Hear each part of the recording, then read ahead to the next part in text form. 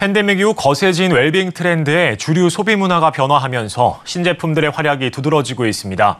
대표적으로 제로 열풍을 일으킨 새로가 롯데 칠성의 올해 1분기 소주 카테고리 매출을 견인한 것으로 나타났는데요.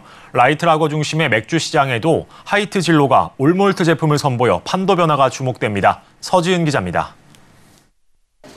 롯데칠성 신제품 새로가 주류 매출을 견인한 가운데 하이트진로의 신제품 켈리 성공 여부도 업계의 관심사로 떠오르고 있습니다.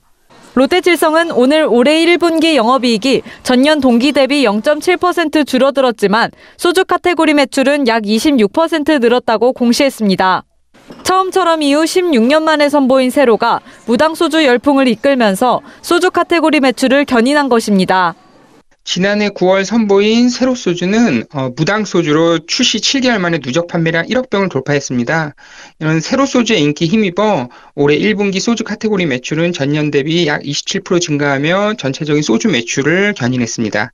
최근 주류 업계는 기존 간판 제품보다 새 히트 상품 발굴에 분주한 모습입니다. 코로나 팬데믹을 거치면서 건강에 대한 관심이 높아지고 술자리에서 폭음 문화도 잦아드는 등 주류 소비 문화가 급변한 영향으로 풀이됩니다. 하이트 진로의 경우 지난 4월 맥주 맛을 강조한 켈리를 출시하며 점유율 확대에 나섰습니다.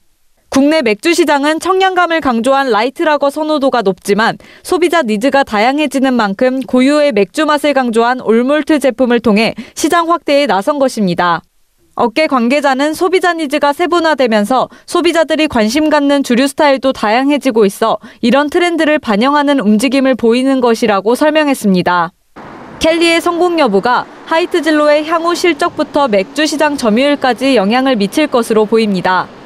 시장 조사기관 닐슨 코리아에 따르면 현재는 하이트 진로 테라의 잠정 점유율이 20%로 경쟁 제품 카스의 절반 수준입니다. 서울경제TV 서진입니다.